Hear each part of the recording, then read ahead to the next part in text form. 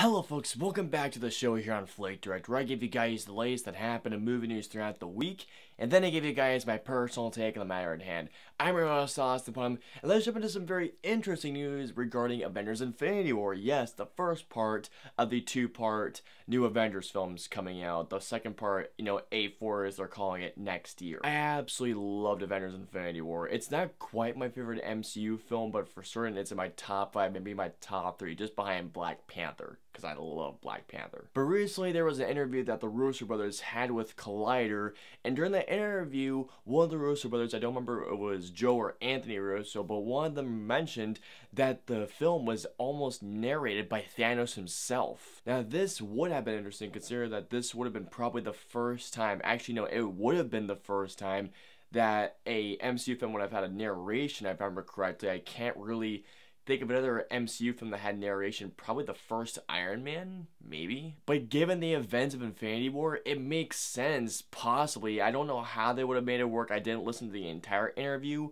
but Thanos, if you really think about it, Thanos really is the main character of Infinity War. It really does focus on Thanos more than any other Avenger in the movie. Now I'm just really curious to hear a Thanos narrated MCU film. That would have been one of the more interesting movies out there, I feel like, if it would have happened. For our next news story, we have some news surrounding the Kingsman prequel, Kingsman the Great Game, I believe it's called. Now we have two topics regarding this, but the first one being in that Game of Thrones star Charles Dance, the man who played Tywin Lannister, is in talks, or I believe he's been cast to play in a lead role, which I think is very interesting. If you guys haven't seen Game of Thrones, watch it. I mean, it's incredible. But not only is Charles Dance joining the Kingsman franchise, but get this.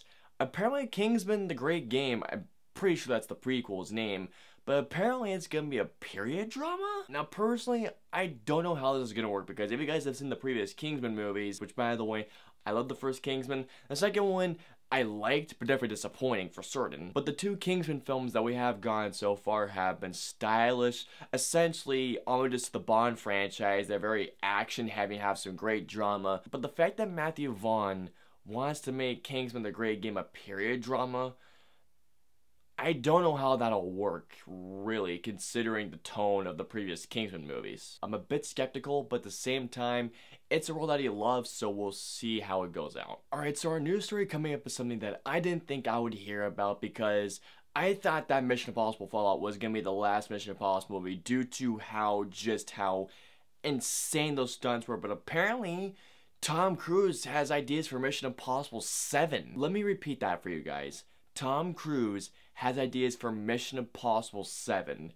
How in the holy mother of shnikes is Tom Cruise going to top what he did with Mission Impossible Fallout? Now, if you guys saw my review of Mission Impossible Fallout, you guys would know that I absolutely loved Mission Impossible Fallout, and actually on a rewatch in IMAX, I love the film even more, and it's actually my favorite action film, not only of the year, but the decade as well. Seriously, that film I think it's one of the greatest action films I've ever seen. How Christopher McQuarrie and Tom Cruise did everything, including that Halo jump, just blew my mind. And just when we thought they were gonna probably throw in the towel, no, Tom Cruise has more. And apparently Christopher McQuarrie had this to say, and I'm pretty sure I'm paraphrasing what he's saying here. But Christopher McQuarrie had this to say, and it makes me really intrigued of what Tom Cruise has in store. But he said that Tom already has ideas, world-topping where else could they go for a Mission Impossible 7 unless that they take it into space?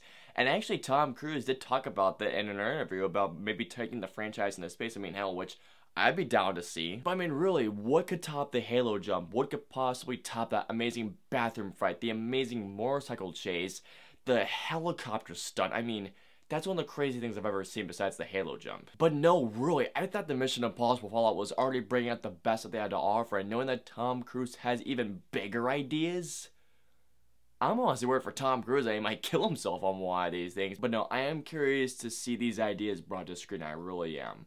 Just be careful, Tom. Now, in terms of trailers this week, we did get one trailer to a film that I have been waiting for for years of my life. I'm talking years, and that is the adaptation of the Artemis Fowl series. Now, the Artemis Fowl series it was my favorite books as a kid. I loved that franchise to death, and I actually read the first 45, the 45, I read the first four to five books. I know there is at least seven books, but the first two books are absolutely incredible if you guys haven't read them. But I had a lot of faith in this movie because Kenneth Branagh is directing, who is one of the best actor directors out there.